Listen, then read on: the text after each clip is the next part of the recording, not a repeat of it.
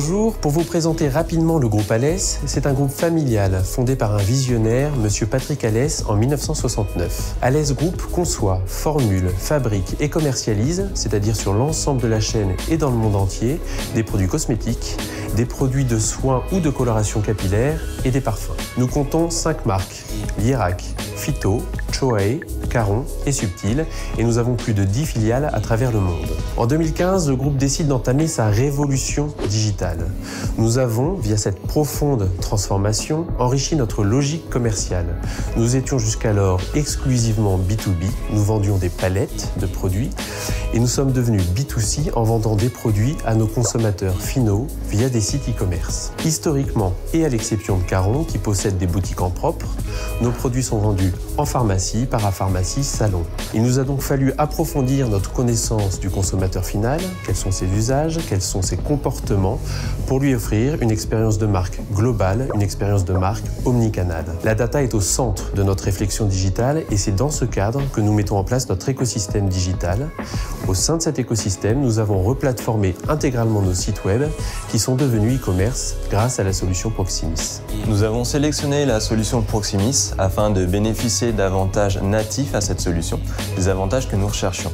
Donc on pense notamment à la gestion omnicanale des commandes, un point qui était très important pour nous, notamment dans notre relation avec nos distributeurs historiques, donc les pharmacies, les parapharmacies, les salons. Elle nous a également permis un déploiement international très rapide. Donc en moins d'un an et demi, on a déployé sur plus de 15 sites, sur 8 marchés pour 4 marques.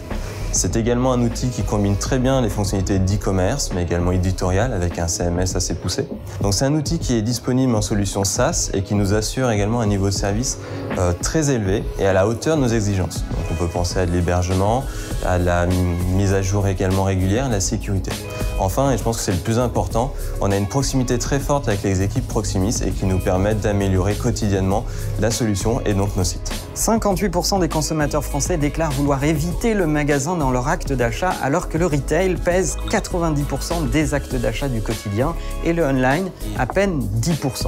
Chez Imakina, en tant que designer d'expérience unifiée, c'est ce que nous avons eu à cœur pendant tout le projet Alès. C'est d'ailleurs pour cela que nous avons prescrit la technologie Proximis qui place le online et le magasin au cœur de la problématique pour fabriquer des expériences consommateurs unifiées.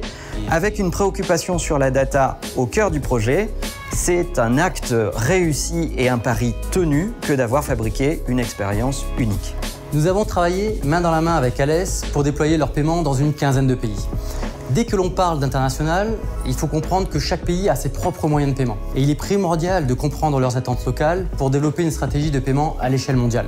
Avec Alès, nous nous concentrons sur trois axes majeurs.